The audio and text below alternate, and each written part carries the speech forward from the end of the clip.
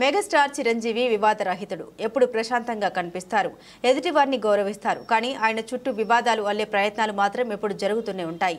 ఆయన రాజకీయాల్లో లేకపోయినా ఆయన గురించి ప్రత్యక్షంగా పరోక్షంగా చర్చ సాగిస్తూ ఆయనను ముగ్గులోకి లాగుతూ ఏదో విధంగా ఆయన పేరును తలచేవారు. ఎప్పుడు ఉంటారు. లేటెస్ట్గా చూస్తే చిరు మర్యాద మంచితనమే మరోమారు సోషల్ మీడియా వేదికగా వివాదానికి దారి తీసేలా కొందరు సబ్జెక్టుగా చేసుకుని రచ్చ చేస్తున్నారు. ఇటీవల మెగాస్టార్ చిరంజీవి తెలంగాణ సీఎం రేవంత్ను కలిశారు. వరద బాధితుల సహాయార్థం చెక్కును అందించారు.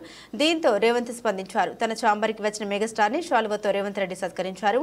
అదే సమయంలో చిరంజీవి రేవంత్ రెడ్డికి రెండు చేతులు జోడించి నమస్కారం పెట్టారు. ఇప్పుడు అది సోషల్ మీడియాలో వైరల్గా మారింది.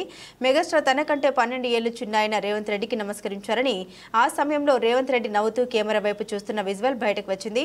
దాంతో స్టార్ట్ అయింది రచ్చ.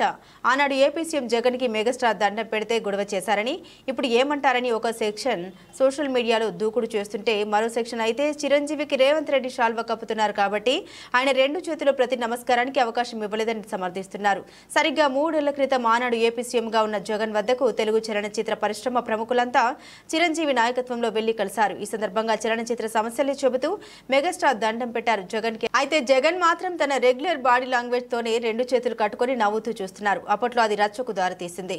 ఒక విధంగా చెప్పాలంటే సినీ పరిశ్రమ వైసీపీకి వ్యతిరేకంగా మారడానికి కారణమైంది. అప్పటి నుండి పవన్ సైతం తన అన్నయ్య చిరంజీవిని అవమానించారంటూ చెప్పుకున్నారు. ఇది ప్రజల్లోకి బలంగా వెళ్ళింది. ఓ ప్రధాన సామాజిక వర్గం వ్యతిరేకించింది కూడా. ఇప్పుడు రేవంత్ రెడ్డికి కూడా చిరంజీవి దండం పెట్టడంతో పాత వివాదం కొత్తగా మిక్స్ చేసి మళ్ళీ సోషల్ మీడియా వారికి కొందరు తెరతీశారు. అయితే ఇక్కడ గమనించాల్సింది ఏంటి అంటే చిరంజీవి అక్కడ ఎదురుగా ఉన్న వారి వయసు చిన్న అయినా వారు సీఎం అన్న కారణంగా రెస్పెక్ట్ ఇచ్చి దండం పెడుతున్నారు. అయితే దాని మీద కూడా వివాదాలు చోటు చేసుకోవడంతో చిరు దండానికి ఒక దండం అన్నట్లుగానే సీన్ క్రియేట్ చేస్తున్నారు. అయితే ఈ వివాదం ఎటు దారి తీస్తుందోనన్న ఆందోళనలో కాంగ్రెస్ పార్టీలో కనిపిస్తోంది.